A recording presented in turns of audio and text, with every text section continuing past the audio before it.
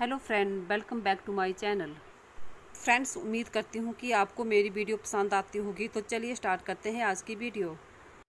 मेरे पास ऐसी वाली तार पड़ी हुई थी तो मैं इसका यूज़ कर रही हूँ। आप चाहे तो बड़ी वाली कील का यूज़ भी कर सकते हो। हमें इस तरह का सेप दे देना है। मैं अभी आपको एक ही बना के बता रही हूँ, क्योंकि मैंने पहले से ही बहुत सारे बना के रख लिए हैं। हमें इसके लिए मिठाई का डब्बा या कार्डबोर्ड चाहिए। तो मैं मिठाई का डब्बा यूज़ कर रही हूँ। फिर इस डब्बे को हमें टेप से चारों तरफ़ से टाइट कर लेना है, जैसे मैं कर रही हूँ। मैंने यहाँ पे मोटे वाली टेप ली है, जो इलेक्ट्रिक टेप होती है। आप कोई सी भी टेप ले सकते हो। देखिए, आपको भी ऐसे ही कर लेना है। अब हमें चाहिए एक तेल का खाली पैकेट तो मैंने ये खाली पैकेट ले लिया है। क्योंकि मुझे ये बहुत अच्छा लगा और मैंने सोचा कि इसे फेंकना क्यों है तो इसका कुछ बना के देखती हूँ।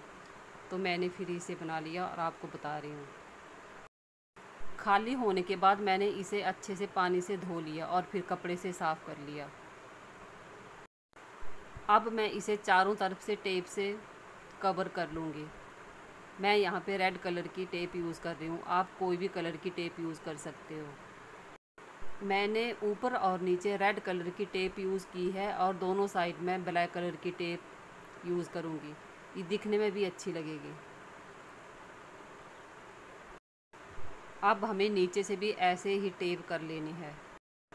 मैं यहाँ पर काले रंग की टेप यूज़ कर रही हूँ। आप कोई भी कलर की टेप यूज़ कर सकते हैं।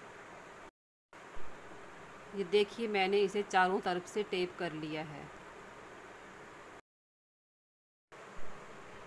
अब ये अच्छे से तैयार हो चुका है। ये देखिए।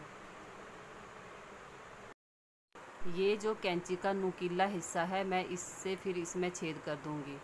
और जो रिंग बनाए हुए हैं, इनमें डाल दूँगी। ये देखिए। मैं यहाँ पे तीन छेद करने वाली हूँ। देखिए, मैंने नीचे वाली साइड तीन रिंग डाल दिए हैं। इसी तरह हमें ऊपर वाली साइड में भी छेद कर लेने हैं और फिर वो रिंग्स डाल देने हैं।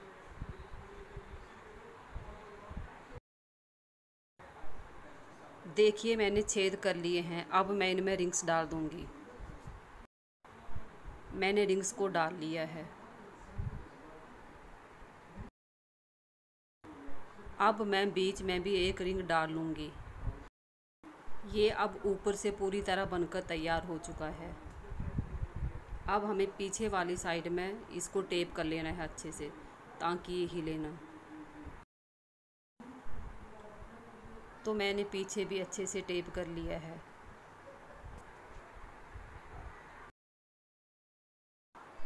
अब हम इसे टांगने के लिए एक मज़बूत धागे से बाँध लेंगे। ये देखिए इस तरह से। तो अब ये बनकर पूरी तरह से तैयार हो चुका है।